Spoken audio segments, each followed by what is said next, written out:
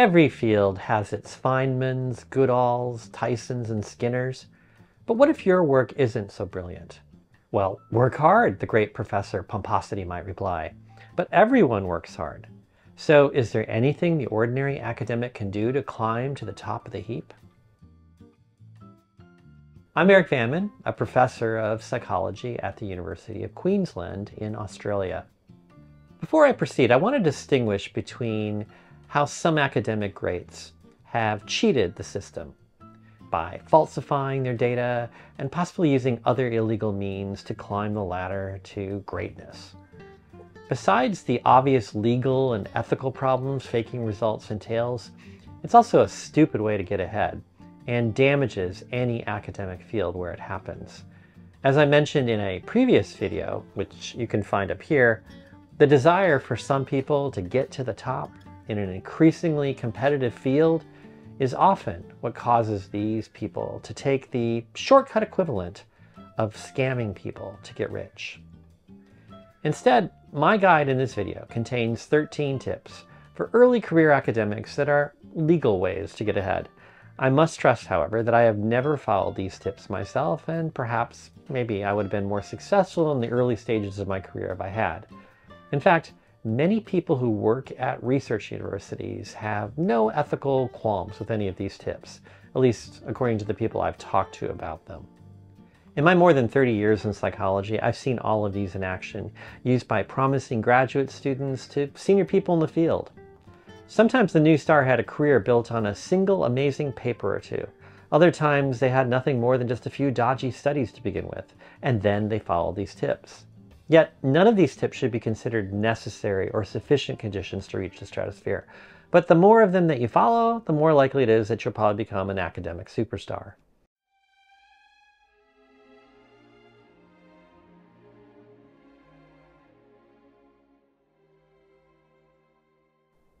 All right, the first one is the co-authorship pact. Picture this. You and a fellow graduate student agree to be mutual academic wingmen, co-authoring each other's papers regardless of the actual input. It's like getting a free ride on each other's hard work. I've seen this co-authorship pact many times in my field of psychology. If you go this route, you might set an expiration date to the pact, or this academic honeymoon might end in a professional divorce. The secret cabal. Form a professional cabal among a group of other aspiring superstars in your field. In the truest sense of this word, make sure that the cabal is a secret. Then, agree to give each other favorable manuscripts and grant proposal reviews without disclosing the existence of your cabal to anyone else. It's like having your personal academic Avengers, but remember, mum's the word on this one. Early on, I learned about a group of academics who did this and invited my friend to join them, but not me. The original rule was that you had to be under 35 to become a member, but as the original members got older, the age requirement was dropped.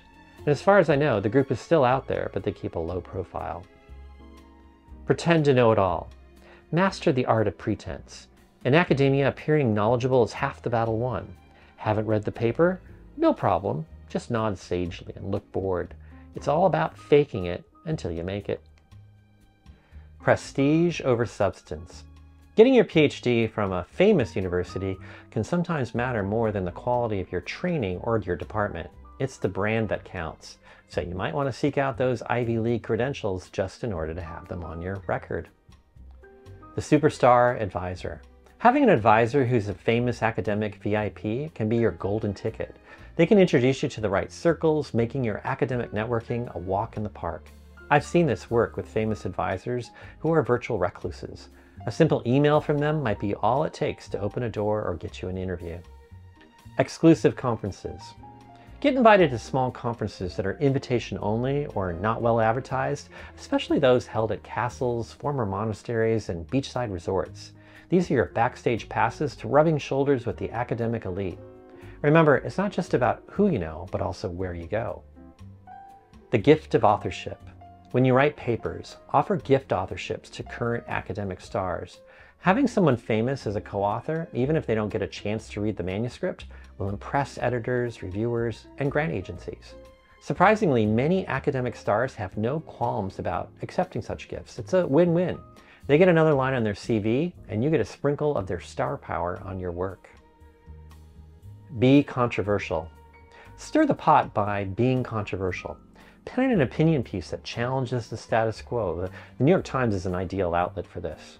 Don't have evidence yet? No worries. The academic world loves a bold, if not entirely substantiated claim. Money magnetism.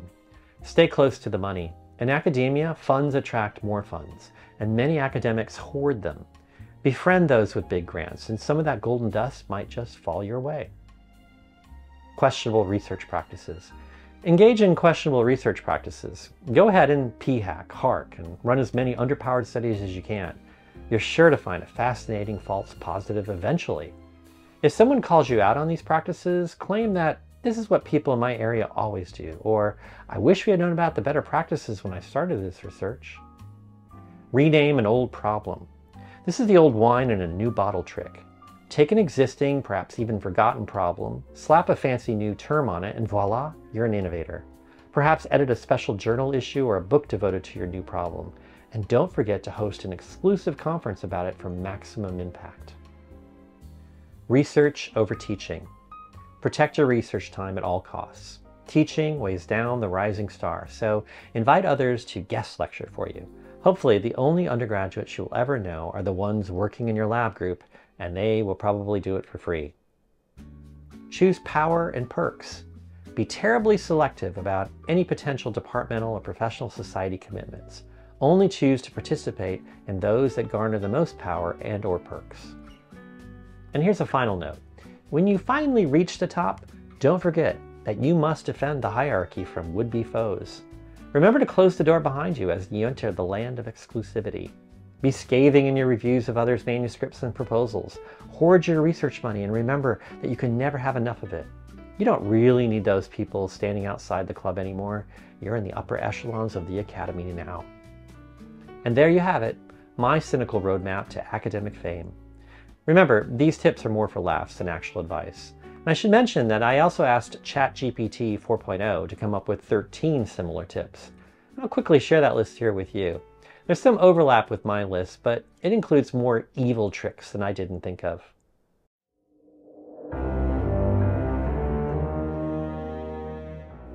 At your request, here are 13 cynical, though not illegal ways to get ahead in academia that fall into ethically gray areas. Remember, these methods are not recommended as they compromise ethical standards and can have long-term negative impacts on both personal and professional reputations.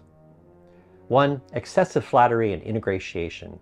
Building relationships with influential academics by excessively flattering them, even if it feels insincere or exaggerated. 2. Taking credit for collaborative work positioning oneself as the primary contributor in group projects or co-authored papers, even when the contribution was equal or less. Overpromising in grant applications, making overly ambitious or unrealistic promises in grant applications to secure funding. Manipulating data presentation, presenting data in a way that overly accentuates positive results while downplaying or omitting negative or less favorable outcomes.